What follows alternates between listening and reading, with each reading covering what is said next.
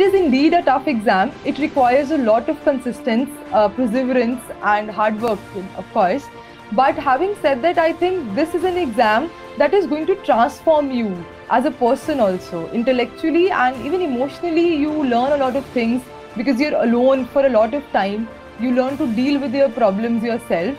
And now, coming uh, as the stages of the exam, I think each stage has a very different requirement. And to begin the preparation, we need to understand the demand of each stage.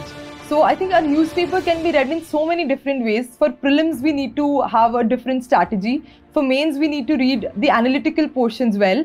And interviews the combination of everything that comes there. So for prelims, I think the prelims test series are very important. And the mocks, the more mocks you give, you realize your strengths, your weaknesses, and you can work upon them accordingly.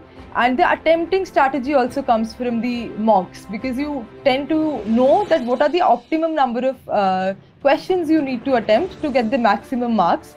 And static obviously becomes very important. And the key here is revision because we tend to learn a lot, read a lot, but reading does not mean that it has been ingrained inside our mind. For that, you need to keep revising the things.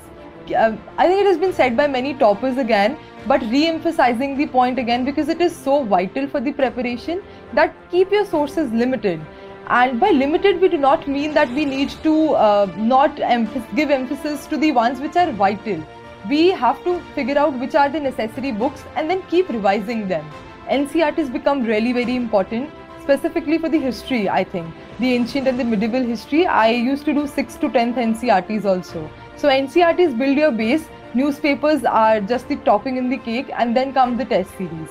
So I think this amalgamation of these three things can help you gather the knowledge and ingrain it in yourself. And now coming to the mains, I think mains is the main exam. So uh, for that, answer writing becomes very very important. And more than that, you need to go through the past previous year toppers sheets also because you will understand that what is the demand of the paper. Because we can write in so many different ways to chalk out a strategy to write in a way that appeals to the examiner. I think for that also we need to spend a lot of time. So keep writing answers uh, and re-evaluate them from your end as well. The coaching institutes or the test series you join, they will evaluate it, but you compare your answers with the toppers' answers also.